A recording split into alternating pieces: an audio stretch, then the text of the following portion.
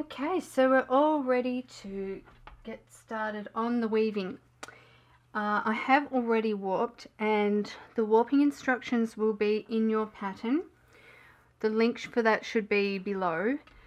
Um, if you need a little extra help with warping, if you're not quite up with that yet, I do have a class available for purchase, Warping with Beginners. I will also put the link for that underneath.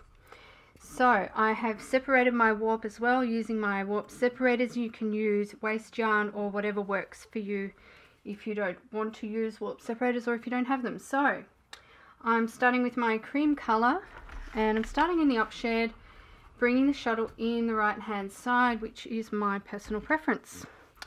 I'm going to leave a tail and let's just have a look at this tail. Yeah, I need mine to be a little bit longer than that. Approximately four times the width of the warp for hem stitching because we are going to hem stitch this table runner. Okay, that should be fine into the down shed for some plain weave. So to start out with, just doing some simple plain weave before we get into working our border. I'm going to have a border on each end.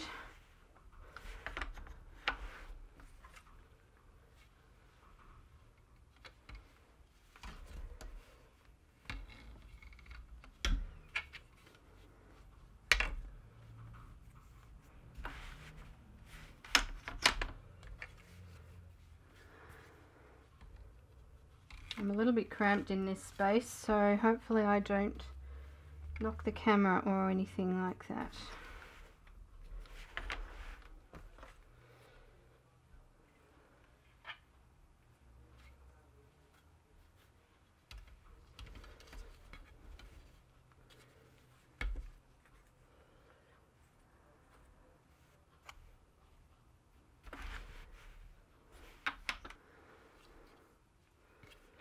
And we're going to just continue doing plain weave in this cream color or your lighter color if you're using something else for three inches. Good idea to print out your pattern so that you have all the information with you or if you prefer to view it on a device or whatever some sort of a screen. Um, but to have that information handy that goes along with the videos so that you can use both of them as your learning tool So I'll see you at three inches. Have my three inches all done. I'm going to cut the end, leaving a little tail of a couple of inches. And I'm just going to tuck that in a couple of warp threads. And it's going to sit there. Now we're going to bring in our blue. In the same shed, leaving a little tail as well. Not a huge tail, just a couple of inches. Beat that, change sheds, and we'll tuck that tail into that shed.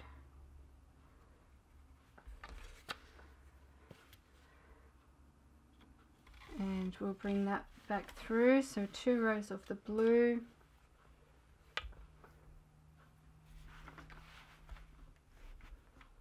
Okay, so we can just go into neutral now.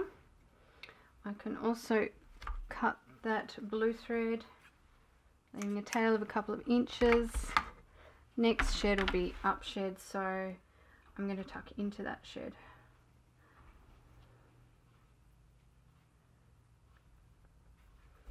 And then we'll go into neutral and we are going to take this opportunity to do our hem stitch before we get too before we wind too far forward.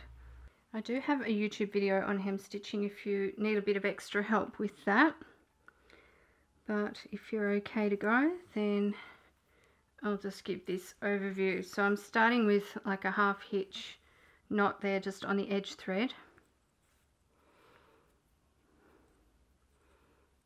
to secure it.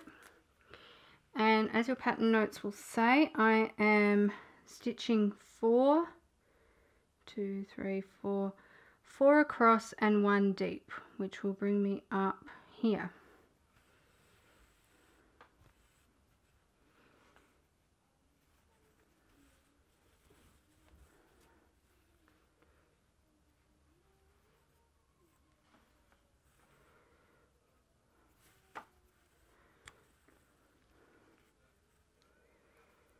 Okay, one, two, three, four across, one deep.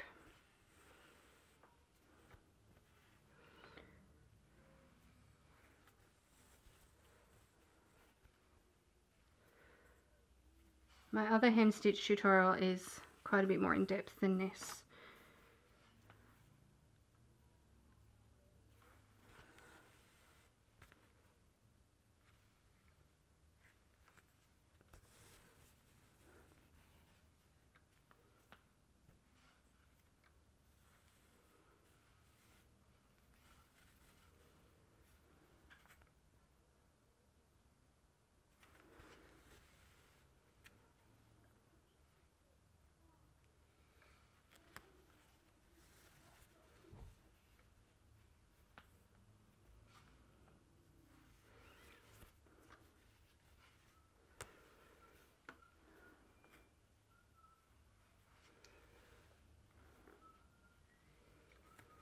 We're going to do that hem stitch right across to the other side.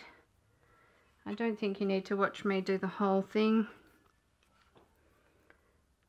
Once you um, understand the basics, you should be fine with that. And just secure it on the opposite side with that same half hitch knot. With the hem stitch all finished, I'm going to come back in with my cream colour.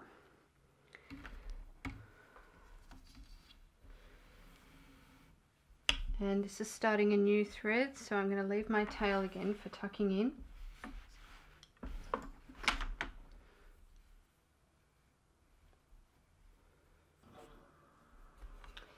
And we're just going to do two picks of that before we commence the pickup sequence.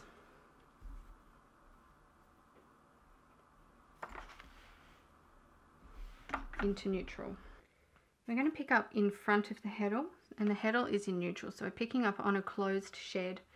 Now the first thing we want to do is go underneath the border. We're not going to be using the border. We want to keep that separate. So it's not part of the design. And then we're going to want to count 12 warp threads. 2, 4, 6, 8, 10, 12. Come up and go over two warp threads. Now for the next one we're going to count 15 So it's only for the first one that you count 12. 2, 4, 6, 8, 10, 12, 14, 15. And then we're going over 2 again. And from there, we're counting 15 again.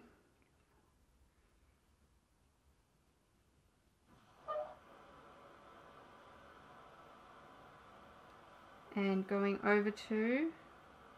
Check that I counted that properly. 2, four, six, eight, ten, twelve, fourteen, fifteen. Yeah, over two, two, four, six, eight, ten, twelve, fourteen, fifteen, and over two, two, four, six, eight, ten, twelve, fourteen, fifteen and over 2 and again 2, 4, 6, 8, 10, 12, 14, 15 over 2 and then we won't have enough to count out anymore so we're just going to leave the stick under like so. Now we can place the pickup stick on edge and that creates a little shed for us underneath and we can bring in our first pattern yarn. I'm going to bring mine in at the back where the first warp thread that's going down, that's being pressed down by the stick, is.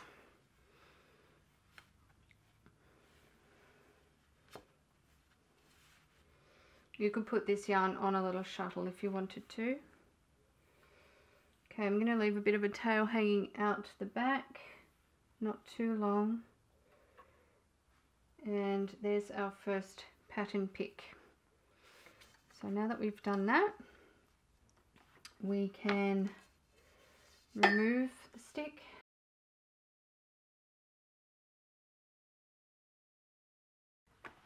And beat the pattern pick down then we can go into our next shed and follow up with a plain weave of cream colour.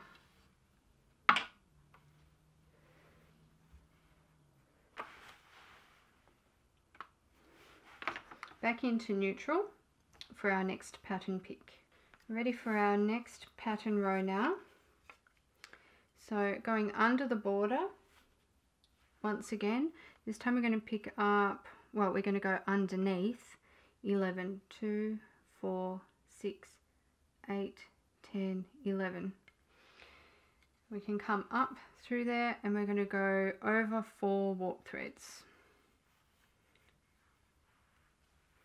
Now we're going to pick up, sorry, we're going to go under 13, 2, 4, 6, 8, 10, 12, 13. Coming up again and going over the four warp threads again. And we'll keep doing this until we have covered all of our pattern row there. Okay, so we're going to turn that stick on edge, come back in with our pattern yarn